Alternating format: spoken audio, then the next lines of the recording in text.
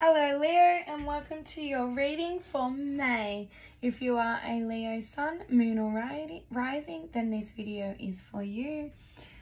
Um, this is a collective reading so if it doesn't resonate with you make sure you do check your moon or rising sign on my channel and alternatively you can also DM me on Instagram Chelsea Terese where I do personal online readings as well. Okay, let's jump straight into the energy, Leo. Let's go. We've got the Four of Pentacles, Leo. So the Four of Pentacles is, um, I feel like the, the, the picture's definitely showing me that there's a lot of money exchanging hands at the moment.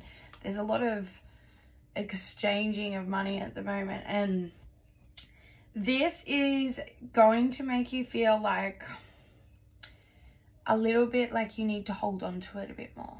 You're going to feel like you're spending a bit too much spending and you're going to start to be a little bit more conservative because you've worked really, really hard for this money and you've had a lot of accomplishments with it and it's just, it's responsible to be more smart with your money because in the past you haven't been as smart.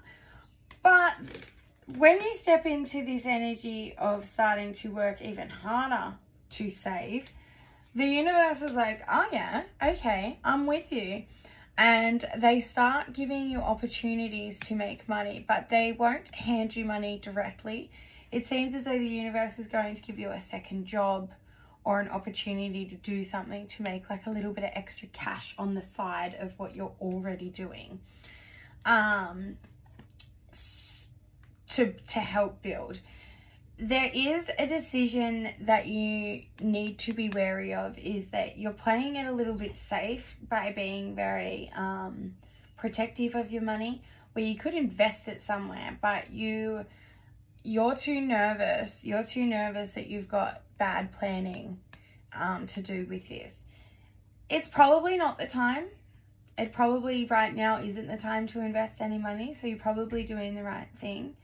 But don't procrastinate too hard on it because the fear of change will keep you in the same energy forever and you need to make sure that you are evolving. But now's not really the time to be putting your money in too many spots.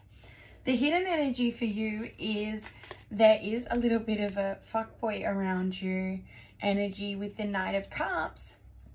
And it's there's someone around you who's very romantic, very um, idealistic and going to be trying to woo you. Um, this person does have a lot of feelings for you. They could be a Cancer because this is Cancer energy with the Chariot. But this person seems to lack a lot of control. Um, yeah, they lack control. They, they just, they're aggressive. They're just they're not really the love energy. They're not the soulmate energy that you're looking for, Leo. So just be very wary of that through the month of May. Speaking of your love energy, Leo, we have very soon clearly decide what you want so that it comes to you now. Forgiving and learning. As you release and heal the past, you experience more moments in the present moment, more love in the present moments. Calling in your soulmate. Your prayers and visualizations and affirmations help bring you together. And what somebody is thinking about you, Leo, is I lost myself for a little while. You came closer than anyone. I remember every detail of that day. I want to feel, I want to tell you how I feel. Read that one more time for you, Leo. I've got, I lost myself for a little while. You came closer than anyone. I remember every detail of that day. I want to tell you how I feel. Okay, Leo, I would like you to like and subscribe and I'll be dropping monthly videos every month. So I hope you enjoyed your reading and if you have any questions, comment below or DM me on Instagram. Sending you love and light, Leo. Enjoy May.